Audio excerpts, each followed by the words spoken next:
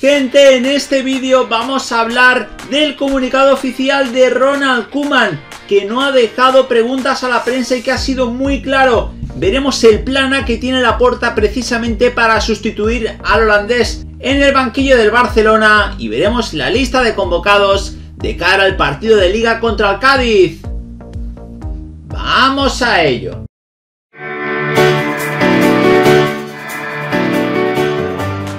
Hola de nuevo gente, ¿cómo estáis? Bienvenidos a un nuevo vídeo de Objetivo Gol. Vamos a analizar la última hora del Barcelona y vamos a hacerlo con varias noticias. Por tanto, te animamos a que te quedes hasta el final del vídeo, a que nos dejes un buen like y a que le deis a la campanita de notificaciones.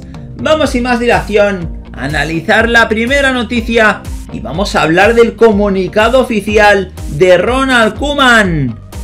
El entrenador del Barcelona, Ronald Koeman, compareció en rueda de prensa de cara al próximo compromiso de liga frente al Cádiz, un encuentro que se jugará este jueves 23 de septiembre a las 22 horas.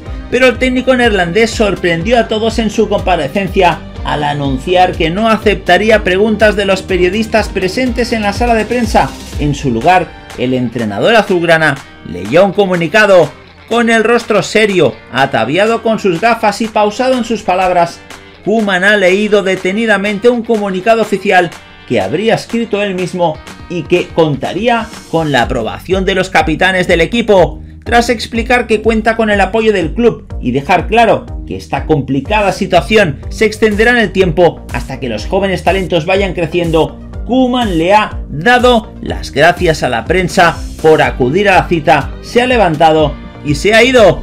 Dice así el comunicado de Kuman. El club está conmigo como entrenador. La situación financiera del club está ligada a lo deportivo. Eso significa que nosotros como club tenemos que reconstruir la plantilla sin poder hacer inversiones económicas. Eso necesita tiempo. Los talentos jóvenes de hoy pueden llegar a ser las nuevas estrellas mundiales en un par de años. Lo bueno de volver a reconstruir el equipo es que los jóvenes tendrán oportunidades como las tuvieron Xavi e Iniesta en su día. Comenzó leyendo Kuman, agregando lo siguiente, pero se pide paciencia. Además, quedar en un alto ranking en la liga sería un éxito. El fútbol europeo es una buena escuela para esos grandes talentos en la Champions League no se pueden esperar milagros. La derrota contra el Bayern de Múnich la pasada semana tiene que ser enfocada desde esa perspectiva, prosiguió el técnico que agregó lo siguiente, el proceso en el que nos encontramos en la plantilla con nuestro equipo se merece ser incondicionalmente respaldada, con hechos y con palabras, apoyan la política técnica y el proceso que estamos realizando. Yo sé que la prensa reconoce este proceso, no es la primera vez en la historia del Fútbol Club Barcelona que esto pasa. Contamos con vuestro apoyo en tiempos difíciles. Como plantilla y jugadores, estamos muy contentos con el apoyo de los aficionados, como el que tuvimos ante el Granada. Visca el Barça, muchas gracias por venir. Así lo dijo Ronald Koeman. Y es que aquí podéis ver el tuit del Fútbol Club Barcelona con Ronald Koeman leyendo el comunicado. Os dejamos el enlace en la descripción del vídeo. Vamos ahora a hablar del plan A que tiene la puerta precisamente para sustituir a Kuman en el banquillo del Barcelona. Ronald Kuman tiene los días contados en el Barcelona después del mal inicio de temporada que está haciendo su equipo. No ha sabido reponerse de la plaga de lesiones que tiene, especialmente en la delantera, y no ha dado con la tecla todavía. La goleada del Bayern de Múnich la semana pasada y el empate ante el Granada de este lunes han sido decisivos para que el club esté buscándole reemplazo.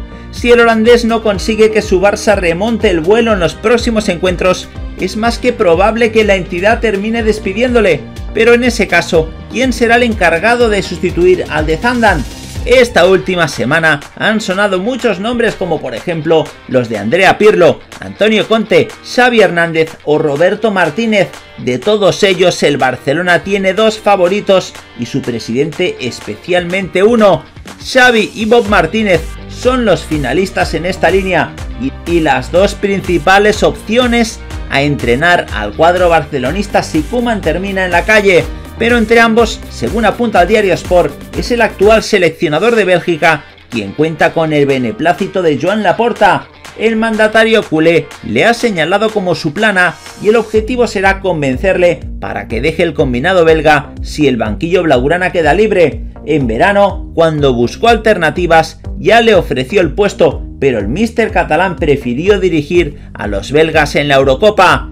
Jan valora la experiencia del técnico de Balaguer, que siempre ha sido de su agrado. Además, sus equipos suelen hacer un buen fútbol, por lo que su estilo podría encajar en lo que se le pide al Barça. Sin embargo, no todos en el club piensan como el presidente y en su junta directiva la mayoría apostarían por Xavi. El de Terrassa es puro cruifismo, es una leyenda de la casa e ilusionaría a la afición. No obstante, el presidente no lo ve claro y considera que está verde para el cargo. Laporta dejó claro en su campaña electoral que no ve al actual entrenador del Alsat preparado para dirigir al Barça. El mandatario cree que antes tendría que pasar por el filial o llegar a algún equipo de Europa.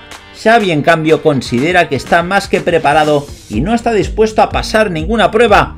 Por este motivo, el abogado y empresario no lo ve claro y prefiere apostarlo todo a Bob. Martínez tiene una cláusula de salida de Bélgica de 1.8 millones de euros que el Barça estaría dispuesto a pagar para hacerse con sus servicios.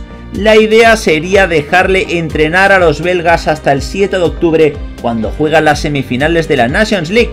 Entonces sería el momento de pagar su cláusula para que se convierta en el líder del proyecto culé. Laporta quiere un entrenador sobre el que poder construir algo a medio y largo plazo y el catalán es su favorito. Habrá que ver qué termina pasando con Kuman y con el propio Roberto, pero esta sería la primera opción de Ronald Kuman, Roberto Martínez. Y vamos ahora con la lista de convocados para el Cádiz Fútbol Club Barcelona. Este jueves como hemos dicho, a partir de las 22 horas de la noche, el Barça se medirá al Cádiz en el Estadio Nuevo Mirandilla, más conocido por todos históricamente como Ramón de Carranza. Los azulgrana visitan a los gaditanos en este duelo correspondiente a la sexta jornada de la liga. Los culés esperan dejar atrás las malas sensaciones que dejaron ante el Bayern en Champions y Granada en Liga y volver a la senda de la victoria por fin. En estos momentos el conjunto barcelonista es octavo en la clasificación de la liga, empatado a 8 puntos con Sevilla, Mallorca y Osasuna. Los culés están lejos del liderato y por eso no pueden volver a tropezar y necesitan sacar el triunfo sea como sea de Cádiz. Pero los andaluces, que tienen 5 puntos y ahora mismo son decimoterceros, opondrán mucha resistencia como ya hicieron la campaña pasada, consiguiendo ganar 2 goles a 1.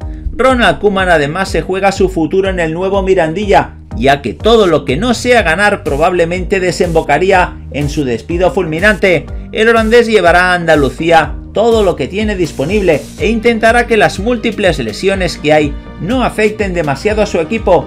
No hay casi ninguna novedad con respecto a la lista de convocados frente al Granada, cayéndose de nuevo Pedri y Jordi Alba por lesión y sumándose a ellos Alejandro Valdé que se tuvo que retirar tocado contra los granadinos por una pubalgia.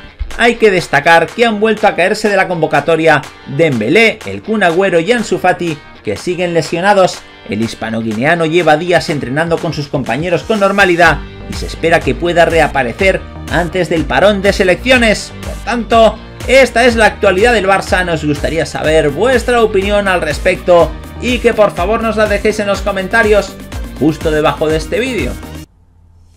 Nada más por el momento, como siempre animaros a que os suscribáis al canal para seguir viendo todos nuestros vídeos. Y aquí os dejamos este vídeo más que interesante para que sigáis disfrutando de todas las noticias del fútbol. ¡Hasta la próxima!